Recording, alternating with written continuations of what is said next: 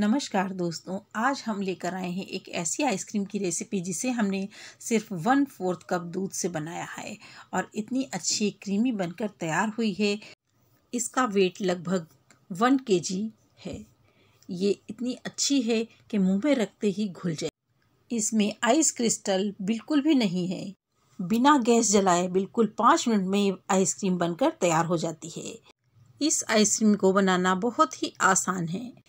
अगर आपको ये मेरी रेसिपी पसंद आए तो आप इसे लाइक शेयर करना बिल्कुल ना भूलें। अगर आपने मेरे चैनल को सब्सक्राइब नहीं कर रखा है तो आप इसे सब्सक्राइब भी कर दीजिएगा। बिल्कुल भी देर ना करते हुए तो चलिए इसको हम बनाना शुरू करते हैं। इसके लिए हमने एक बढ़िया पका हुआ आम लिया है। आम थोड़ा साइज़ में बड़ा ही लेना है। आम छोटा ना लें।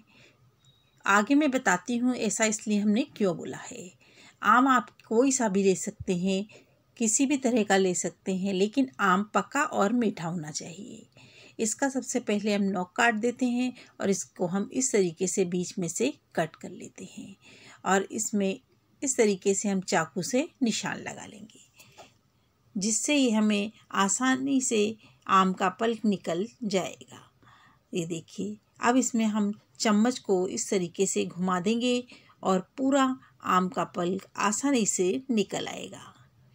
ये देखिए, इस तरीके से हम पूरे आम के पल्क को निकाल लेंगे। ये हमने पूरे आम का पल्क निकाल लिया है। अब एक ग्राइंडर जार ले लेंगे। इसमें ये पूरा पल्क डाल देंगे। इसमें हम one fourth cup milk powder लेंगे। मिल्क पाउडर हम अच्छी ब्रांड का इस्तेमाल करेंगे।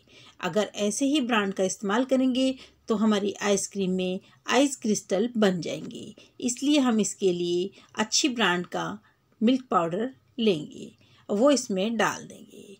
अब वन फोर्थ कप ही हम दूध लेंगे। आप दूध इसमें कैसा भी ले सकते हैं, फुल क्रीम भी ले सकते हैं और टॉन भी ले सकते हैं।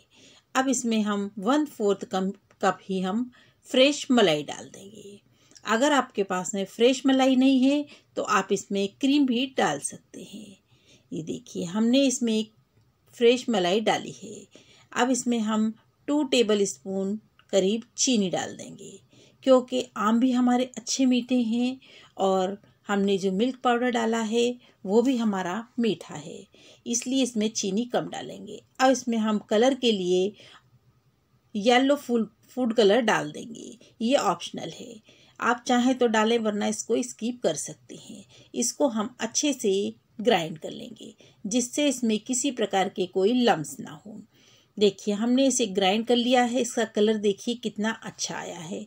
और इसे देखते हैं, इसमें हमारे किसी प्रकार के कोई लम्स वगैरह नहीं है।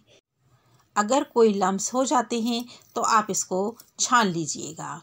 इसको हमें बिल्कुल अच्छा क्रीमी टेक्सचर चाहिए है।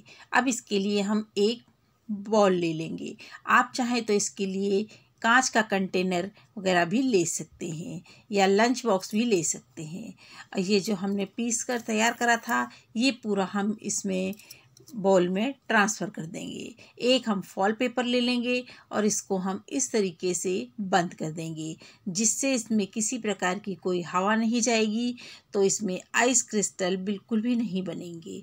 अगर आपके पास फॉल पेपर नहीं है तो आप, आपके पास जो पन्नी होती है नॉर्मल, उसको इसके ऊपर इस तरीके से लगा दीजिए और उसको रबड़ बैंड या किसी से अच्छे से पैक कर दीजिए।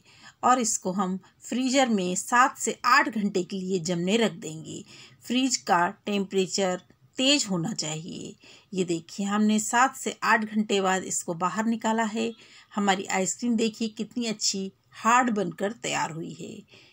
और इसको हम इस तरीके से उल्टा करके टैप कर लेंगे। अगर इस तरीके से आइसक्रीम ना निकले तो थोड़ा सा हम बाहर से इसके ऊपर पानी लगा लेंगे और इसको टैप कर लेंगे। ये देखिए, आइसक्रीम हमारी निकल गई है और कितनी अच्छी क्रीमी सी नज़र आ रही है। और इसको हम चाकू से कट कर लेंगे। मन चाहे शेप में आप इसे कट कर सकते हैं। मैंने इसे इस तरीके से फ्लावर शेप में कट करा है और इसके ऊपर हम पिस्ते की कतरन से गार्निश कर देंगे, जिससे हमारी आइसक्रीम और भी खूबसूरत दिखाई देगी, जिससे इसको हर कोई खाना चाहेगा। ये देखिए, इतनी अच्छी क्रीमी आइसक्रीम बनकर तैयार हुई है कि आपको देखकर ही पता लग रहा होगा। इसे हम देखिए, कट करके भी बताते हैं कितनी अच्छी क्रीमी आइसक्रीम बनकर तैयार हुई है। अगर आपको ये मेरी रेसिपी पसंद आए तो आप इसे प्लीज़ फ्रेंड और फैमिली में ज़रूर शेयर कीजिएगा। अगर आपने मेरे चैनल को सब्सक्राइब नहीं कर रखा है तो आप इसे सब्सक्राइब कर दीजिएगा। बेल आइकन को भी प्रेस कर दीजिएगा, जिससे आने वाली वीडियो की नोटिफिकेशन आपको मिलती रहे। इस तरीके से आप बिना गैस जलाए पाँच मिनट में आइसक्रीम बनाकर तैयार कर सकते हैं। ये बिल्कुल बच्चों का खेल है। अगर आपको ये रेसिपी पसंद आए तो प्लीज़ प्लीज़ आप इसे लाइक, शेयर करना बिल्कुल ना भूलें। फिर मिलते हैं एक नई वीडियो, नई रेसिपी के साथ। Bye bye take care. Thanks for watching.